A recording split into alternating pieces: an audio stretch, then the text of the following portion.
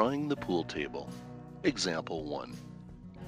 There are two rectangles in the pool table example. The large rectangle has its bottom left corner starting at x0, y0. Its length is 160 and it is 96 tall.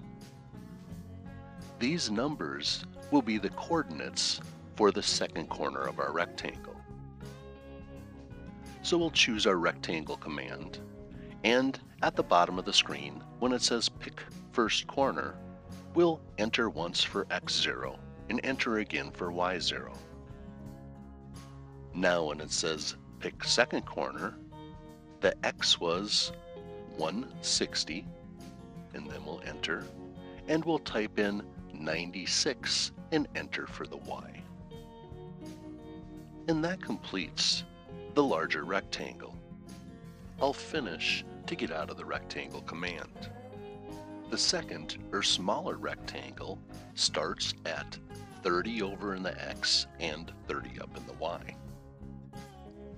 Its second corner is 60 more over in the x and 25 and a half more in the y. So we can choose to draw a rectangle again, and this rectangle has an x value of 30 and enter, and a y value of 30 and enter. I'll press the right arrow key on my keyboard to set my cursor so I can add 60 and then enter. I'll do the same for the y. I'll press my right arrow key so I can add 25.5 and enter, which completes our second rectangle. I'll right click or hit the escape to finish the rectangle command. Next, we'll draw the circles.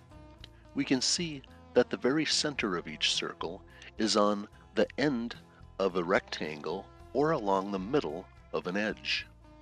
The drawing also shows the radius of the circle. Typical means that unless otherwise noted, the other circles will be the same size. So when we draw the circle, we will choose the center and radius type of circle, since that was the information that was given in the drawing. The first thing we're asked for is the radius of the circle. Type 3 and enter. First I'll draw the circle on the bottom left corner of our pool table.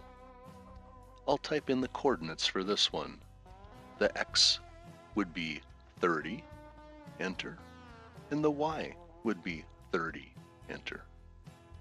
I'm still in the circle command, so I'll either click OK or press enter to accept a radius of 3. And this time, I'm going to use snaps. I'm going to snap to the end of a line. I can either click on this icon or press the F6 key on my keyboard. I am now asked to pick which end of what line.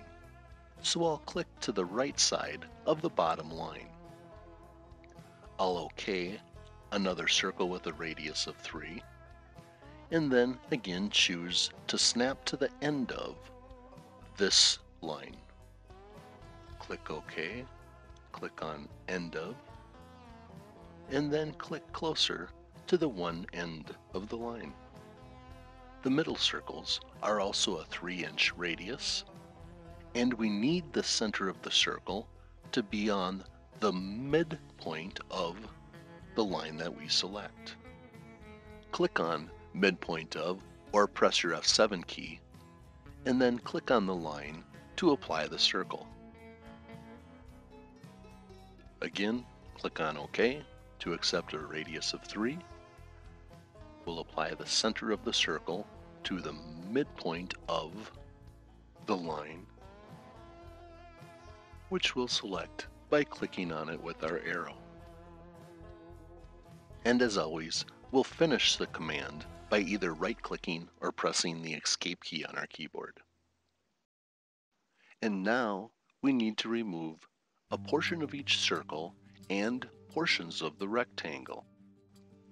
Removing a portion of geometry can be done with the trim command.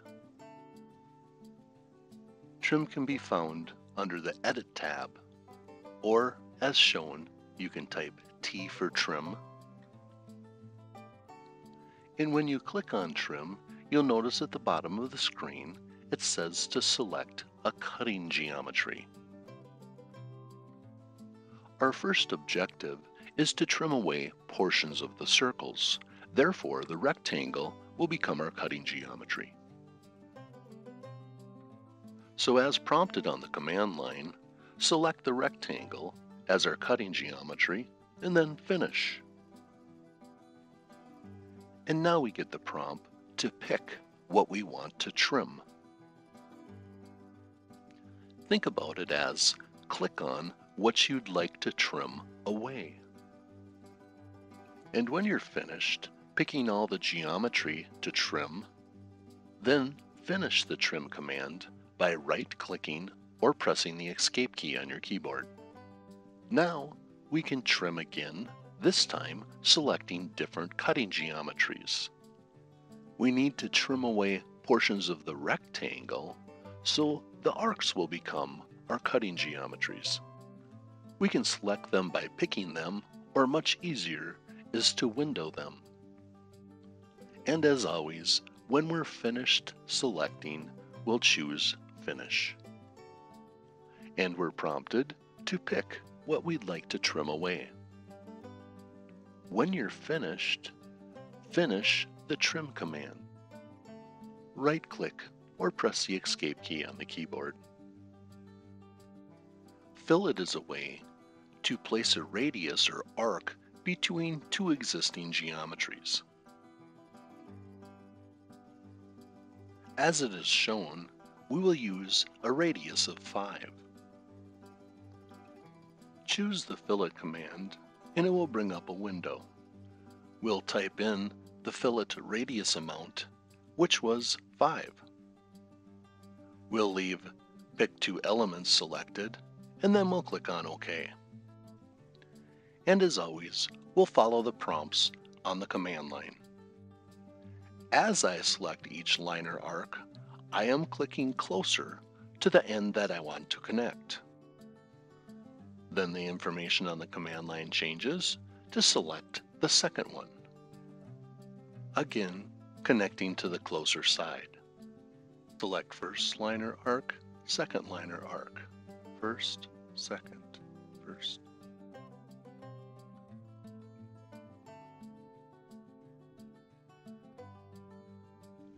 And as always, finished when you've completed the command. And finally, we'll complete the outside border of our pool table. For this, we'll use offset. The distance of 6 inches is shown in our drawing. We'll go choose offset from the edit menu. We'll type 6 into the distance field and then we'll verify that what we want to offset is a singular liner arc. We'll also verify that the Offset as Geometry box is checked. We can then click OK and follow the prompts on our command line. We can only offset one object at a time, so when it says select, we'll have to pick or click on that object. Since I want this line to become my border, I'm going to click to the outside. Repeat the process as prompted. Select and then pick a side. Only offset one line on each side of our pool table. And finish to complete your command. And now we can apply a radius while connecting the lines that we just offset using fillet. We see the radius of 6 inches in our drawing. This time I'm going to type F on my keyboard to enable fillet. I'll type 6 for the value and then OK to follow the prompts on my command line. This completes the pool table drawing. Thank you for choosing Park Industries.